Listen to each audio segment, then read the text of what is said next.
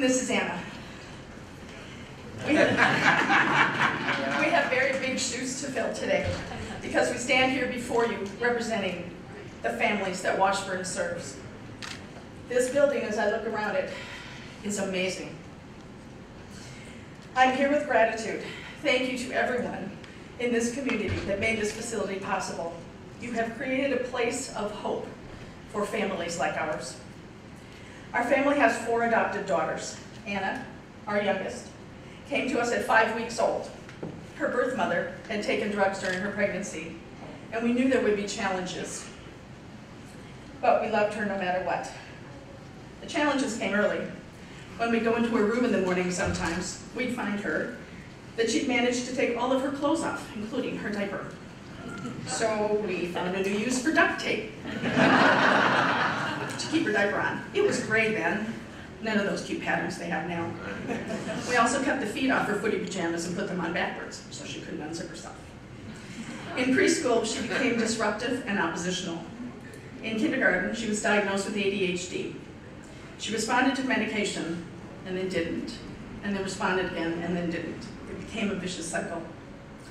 Then in the summer of 2012, when she was eight years old, her behavior became increasingly aggressive and violent. At this point, we didn't know where to turn, and then we found Washburn. I called and requested the services of a case manager who could help us navigate the waters of mental illness. Our case manager was amazing. She guided us to resources we didn't even know were available. In September of that year, Anna was hospitalized. She was not safe at home. When she became angry, upset, or frustrated, she would be aggressive and violent, throwing things, breaking things, and hurting us physically. I was usually the target. Our case manager suggested at this time that we enlist the help of a crisis therapist, and very soon we had another, oh, another person from Washburn who knew what we were going through and how to help us. From September through December of that year, Anna was hospitalized four times. She missed all the holidays, Halloween, Thanksgiving, and Christmas. It was a very difficult and dark road for us.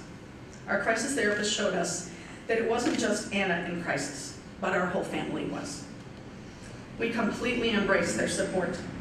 Suddenly we didn't feel so helpless and alone. Up until this point, we had isolated ourselves. We didn't go anywhere, we didn't see anyone. Her sisters didn't have friends over. We just couldn't do it. And they showed us the, the ways that we could support and nurture Anna, and they gave Anna the tools to take care of herself when she became anxious, frustrated, or angry without becoming aggressive. And we all continue to use those tools today. Washburn gave us our lives back. We'll be forever, forever grateful for that.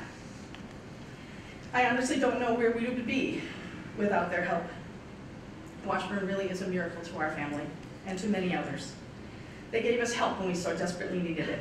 And most of all, they gave us hope. I have no illusions that Anna is cured. Her condition, her mental illness, is something she will have to monitor and manage for the rest of her life. We are so grateful to Washburn for the skills and strategies they taught us. And I'm so happy for the families that will be able to walk through these hallways and experience the same hope that Anna and our family did.